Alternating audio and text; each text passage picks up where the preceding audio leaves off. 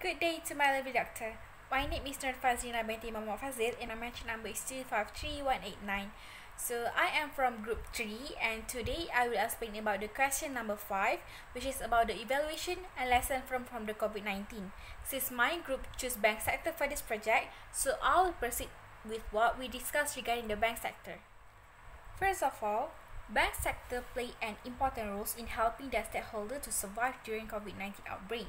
The stakeholder could be the customer, the employees, the society, government, environment, and other stakeholder.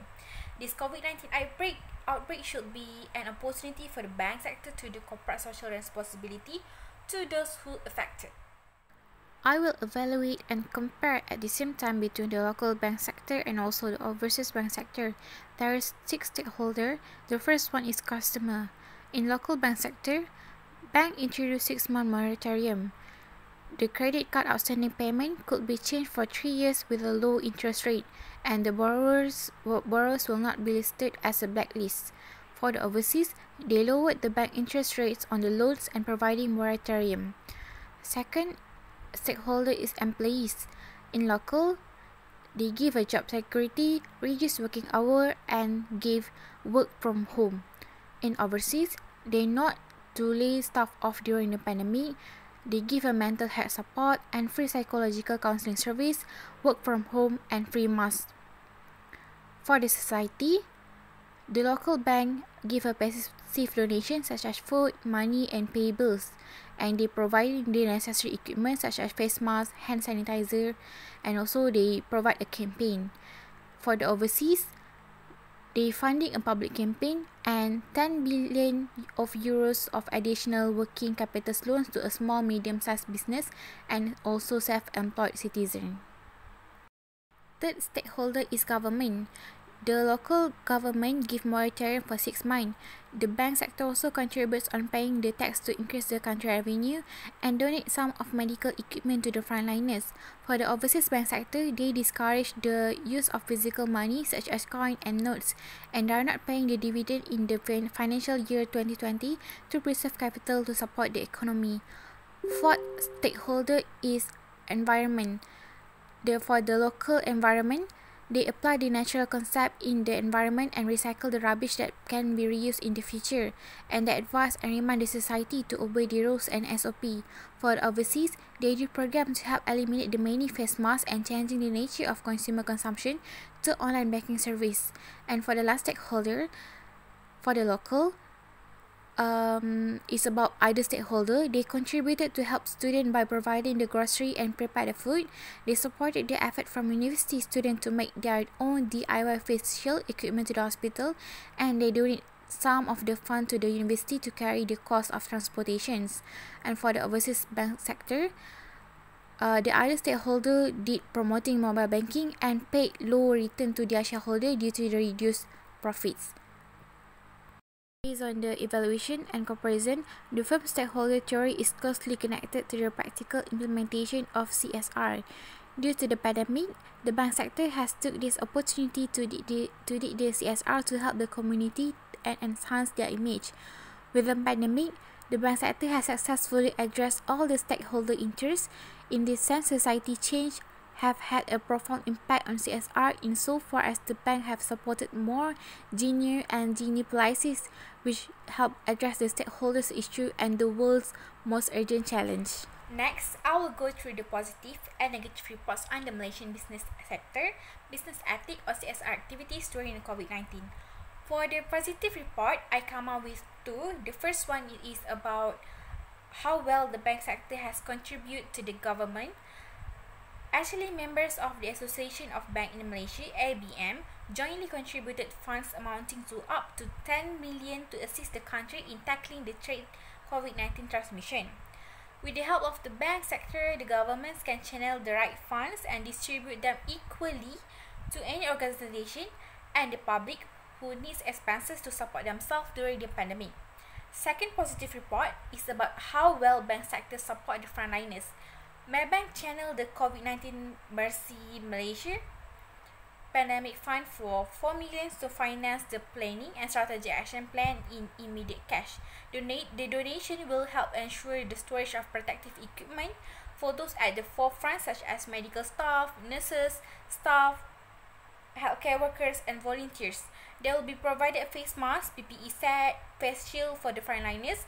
With these comprehensive things can actually help to reduce their risk of infection while performing their duties and work. For the negative report, I also come up with two reports. First is about environmental pollution. Face masks that are being contributes from bank and other business entities is a CSR that is very helpful to a community. Based on the statement from the Ministry of Health, face mask is actually one of the way to prevent COVID-19 infection. Unfortunately, a handful of irresponsible individual will just throw away a given face mask every week.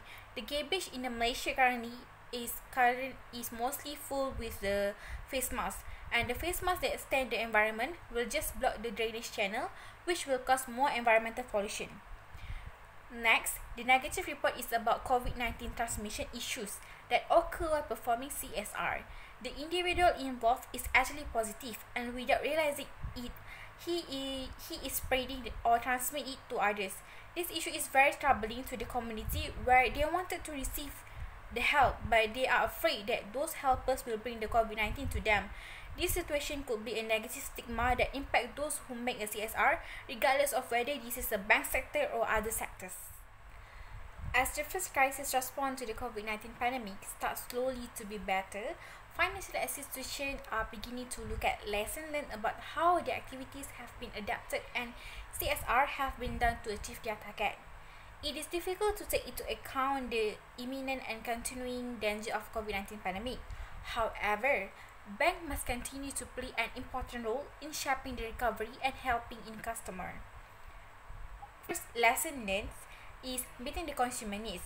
By giving the stakeholder a hand in terms of food, or the most important is finance, will help them survive the pandemic.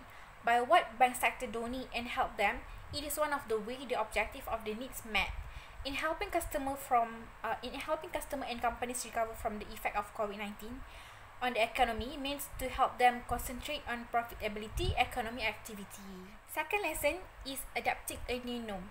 They are concerned about how the citizenship are depreciated and whether organizational cultures, workplace learnings, surveillance and governance performance control and ways uh, in which people communicate more generally with each other will erode over time. But no matter what the means, the bank sector needs to apply and adapt the new norm in their working area. It's definitely a daunting challenge, but banking leaders have to take this opportunity to rethink the success of their people beyond this time of uncertainty. In general, the banking sector has reacted to the disruption exceptionally well, retaining business stability and ensuring the robustness of global financial system. They have to be well improved in order to continually to do the DCSR. So the first suggestion for the bank sector is they have to accelerate digital transformation. In anticipation of the COVID-19 pandemic, the deployment of digital data was relatively, relatively cautious as banks increasingly use data and analyze to identify the detailed financial issues upon the community. Now, the, the CMCO have met banks almost completely fill the customer experience online.